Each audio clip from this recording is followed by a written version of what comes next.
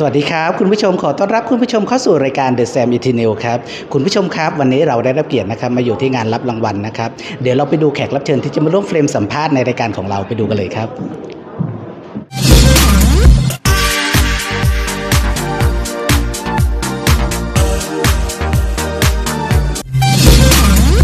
โนอาได้รับเกียรตินะฮะจากพี่หนุ่มมาร่วมเฟรมสัมภาษณ์ของเรา ครับพี่หนุ่มสวัสดีค่ะ สวัสดีครับ พูดถึงการจัดงานวันนี้ก่อน ก็วันนี้ก็เป็นงานนี่เลย รางวัลเยาวชนคนสร้างชาติเลยฮะก็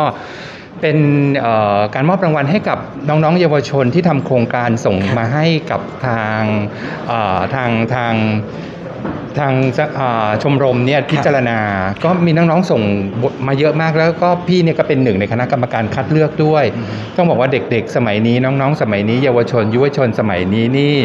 เขาไม่ได้เรียนหนังสืออย่างเดียวนะครับเขาทำกิจกรรมต่างๆ เขาทำโครงการจิตอาสาเขาโครงเขาทำโครงการเกี่ยวกับการเรียนการศึกษาของเขารวมไปถึงเรื่องราวเกี่ยวกับ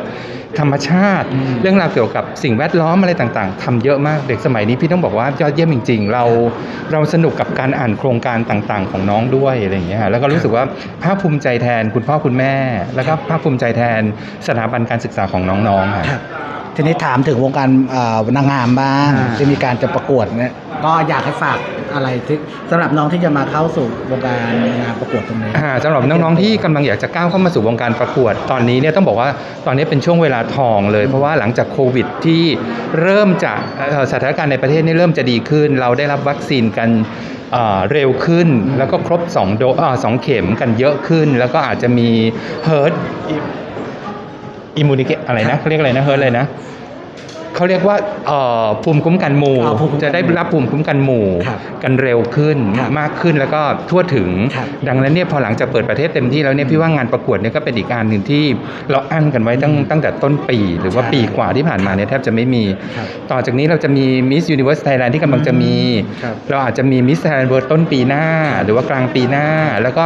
เรายังมี Miss Tourism ของหนูสี่สิริรัตน์ครับแล้วก็ยังมี Mrs. Grove อืมที่เป็นเวทีสำหรับอ่าสุสุภาพสตรีที่แต่งงานแล้วครับรวมไปถึงเวทีสำหรับเด็กๆ อย่างเช่นเอ่อ The Friendship of Runway Mr. กับ Miss Teen ครับแล้วก็ของคลับโมเดลต่างๆ เยอะมากที่จะเกิดขึ้นอะไรอย่างเงี้ยได้อย่างแรกเลยที่พี่จะฝากไว้สำหรับน้องๆที่อยากจะเข้าประกวดไม่ว่าจะเป็นรุ่นไหนก็แล้วแต่เนี่ย เต็มที่กับการประกวดแล้วก็สนุกกับประสบการณ์ที่ตัวเองได้รับ การได้รับตำแหน่งถือว่าเป็นของขวัญของรางวัลแน่นอนเป็นสิ่งสูงสุดที่ทุกคนอยากได้ครับแต่เหนือสิ่งอื่นใด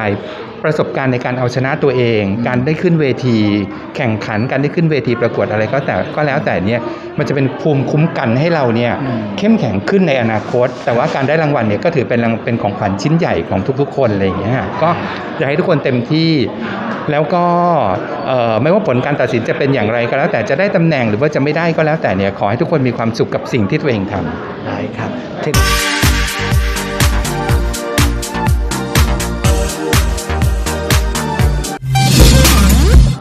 เป็นอย่างไรบ้างครับคุณผู้ชมนะครับ เราฝากรายการ The Sam e t i n e l ของเราไว้ด้วยครับ